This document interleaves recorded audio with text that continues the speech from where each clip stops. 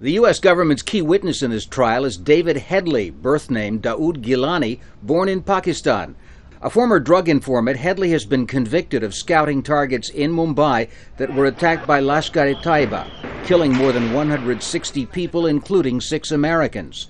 Headley has admitted receiving weapons and leadership training from Lashkar.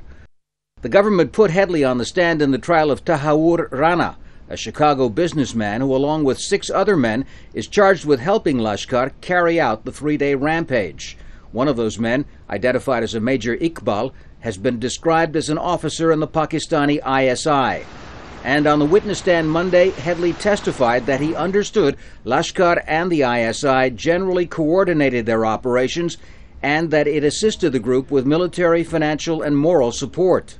He mentioned no specifics, however, in his initial testimony.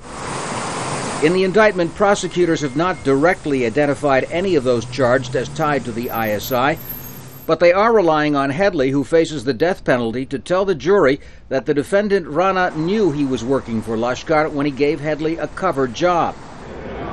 Rana's lawyer told the jury that Headley, quote, has been manipulating people for years and that Rana is by far and away not the first.